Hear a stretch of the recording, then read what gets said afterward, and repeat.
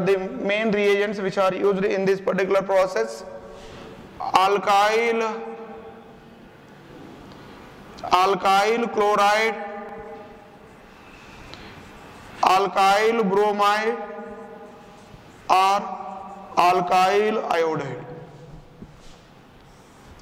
or react with silver fluoride silver fluoride followed by heating it forms alkyl fluorides.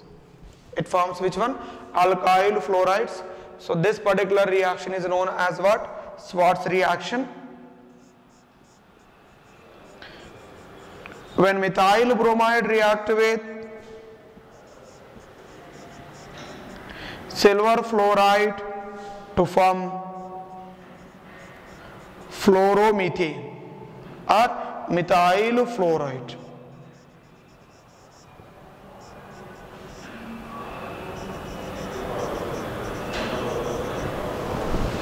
what is that Schwartz reaction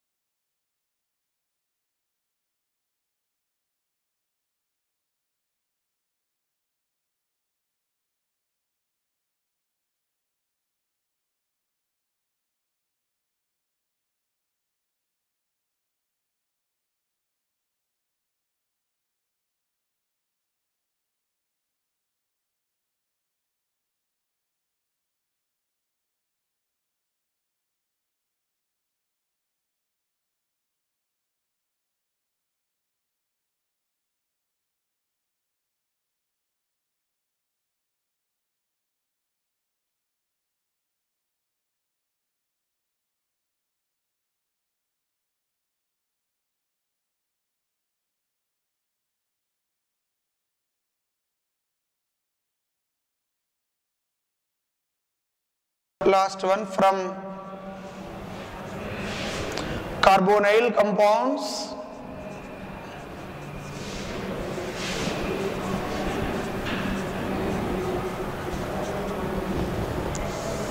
Okay. When carbonyl compounds are react with phosphorus pentachloride it form a germinal dichloride then loss of which one POCl3 loss of which one POCl3 when acetaldehyde react with when acetaldehyde react with phosphorus pentachloride followed by heating it converts into CH3 CHCl then like this